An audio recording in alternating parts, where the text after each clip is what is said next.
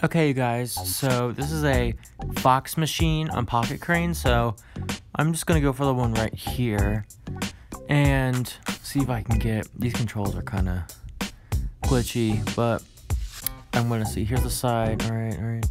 I mean, it looks pretty good. Give me a little more. Okay, cool. You, mm, yeah, right there. Ooh, oh my god, stay. Yes, please. Sweet, got the fox. Cool. Awesome. Alright, you guys, so this is a meme lion machine on Teleclaw, and it's like the cats, but these are new on their app. So I'm going to go for this one over here because I feel like if it can grab the head, it would be good because this claw sometimes opens a little bit like most of their claws. So now let's see if I can grab their head because their head looks bigger than the body and I think it would be a better chance.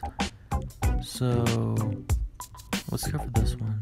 Or maybe this one. I don't know. The claws are the controls are also glitchy on this app, so kinda gotta go slow. Um, so this is cool. Go for this one. I like this one better because it has the top view. Oh, no. Well, no way. Stay.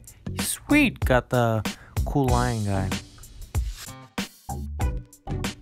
Okay, so this is a new app I found. It's called Claw E with two E's on the end.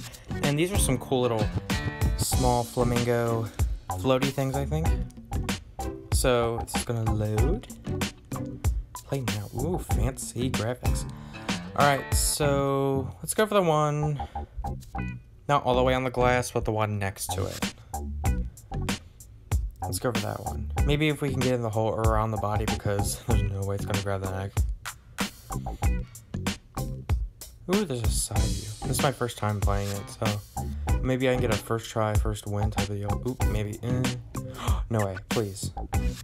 Sweet. Oh my god, no way. First try, first win on this new app. Awesome. Sweet, and it's like a weird little flamingo thing. Cool.